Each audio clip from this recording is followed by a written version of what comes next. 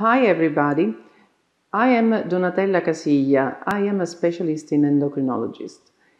I've been working in this field at least for the past 25 years.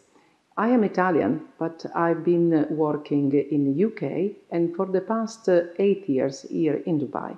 An endocrinologist is an expert in hormones, and hormones are substances produced by endocrine gland there are many endocrine glands that help us every day to work normally.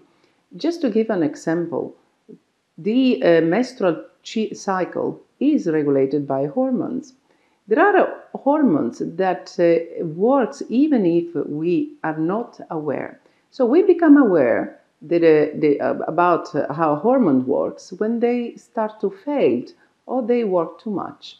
And this is what an endocrinologist does treat condition, disease associated with lack of production of hormones, increased production of hormones, or hormones who are produced but they are not working well.